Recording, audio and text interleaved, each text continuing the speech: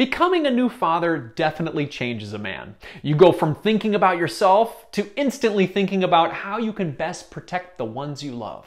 As a new dad, I remember the day when my mind switched and focused hard on family financial independence. It was a fine summer day in 2011.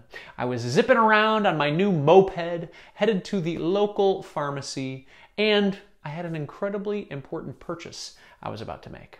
After breezing through the sliding doors, I headed straight back to the pharmacy area. I was grinning ear to ear.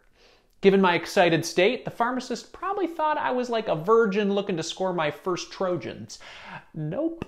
I was after something much more important.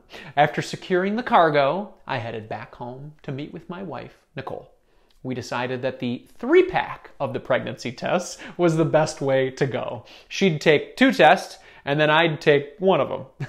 that way, we'd be triply positive that these little white sticks weren't defective. You know, you got to check. Much to our extreme delight, my test was negative. Whew. And both of Nicole's tests were positive. Those incredible pink plus signs had us jumping around our tiny bungalow like two kids on a sugar high. We were high. We were gonna be parents. Learning this monumental news made this specific day one of the best of our lives thus far. That day was also a major turning point for our young family. It propelled our lives in a whole new direction. Hey everyone, this is Andy Hill from Marriage, Kids, and Money, a channel dedicated to helping you strengthen your family tree and live financially free. If you like what you hear today and you are a new listener, please consider giving me the YouTube triple thanks. That's hitting the like button, subscribing to the channel, and then commenting something down below. Maybe the day you learned you were to be a parent. Thanks. All right, when the euphoria of becoming a father for the first time started to subside, a brand new thought process began to creep its way into my life. I quite rapidly started to think about the future and how I could best protect my growing family. Evidently, this brain change for new fathers, it's quite common according to Scientific American. In an article entitled How a New Father's Brain Changes, they describe how a new dad's thought process is quite different from that of the new mothers. Instead of thinking about cuddling or feeding the baby, dads to be focused on the future. They imagine saving money for the college fund or walking down the aisle at their daughter's wedding. This article described my new thought process as a dad to be to a T.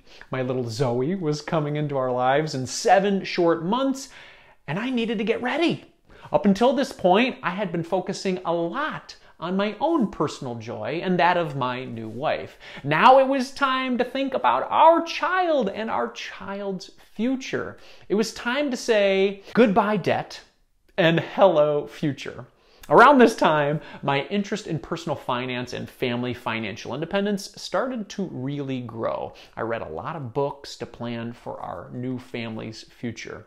When I saw my little girl in the ultrasound, my passion for learning and my desire to win for my family accelerated immensely. We were in the midst of paying off around $50,000 worth of debt that had been accumulated from past student loans and a car loan. Nicole and I decided to focus our efforts more intently over the remainder of the year and rid ourselves of our consumer debt completely. A key element to our debt freedom plan was the monthly ritual called the money date, or as we like to call it, the budget party. Yes, it does sound like two words that don't go together, you know, kind of like oil and water, but hey, whatever works to get it done. We'd meet, and we still do meet on the first of each month, and we review three things the spending plan for our family, the dreams for our family's future, and the actions we need to take to reach those goals. These monthly meetings, they allowed us both to have a voice in our family's future and craft solid plans to win for our finances. Our diligence and partnership definitely paid off. By the year's end, we were debt free. We lived on half of our combined incomes and we clobbered that debt. Evidently, bringing a human into the world really kickstarts your financial maturity. After this debt free win, my newfound passion for improving our family's finances started to become a habit. Once we achieved one goal, we were primed and ready for the next one. Over the next decade, we began dreaming of even bigger goals that could truly strengthen our family tree. Here is a list of what we've been able to do as a couple over the past decade plus in our marriage. 2013. We purchased our dream home for $350,000 with 40% down and set the goal of paying off our mortgage in less than five years. 2014. Our ability to save and consistently plan our monthly cash flow allowed for my wife to leave her job and become a stay at home mom when our son Calvin was born. 2015, our retirement investments grew to over $100,000 for the first time. This came from investing in our workplace 401ks and from Roth IRAs. My wife was even able to do a spousal IRA as a stay at home mom, and we maxed that baby out each year. 2016, I started a blog, a podcast, and a YouTube channel to hold myself accountable to our goals and chronicle our journey to family financial independence. I met some incredible people along the way. I interviewed best selling authors, award winning journalists, and financial experts that kept me motivated and excited to keep moving forward. 2017, we completely paid off that mortgage on our family home one year ahead of schedule. This freed up even more money to pursue our family goals. 2018, we increased our charitable giving from 1% to 3% of our after tax income. 2019, that charitable giving made its way to 5%, and then another 5% for family, friends, and neighbors in need. This became our own version of 10% giving.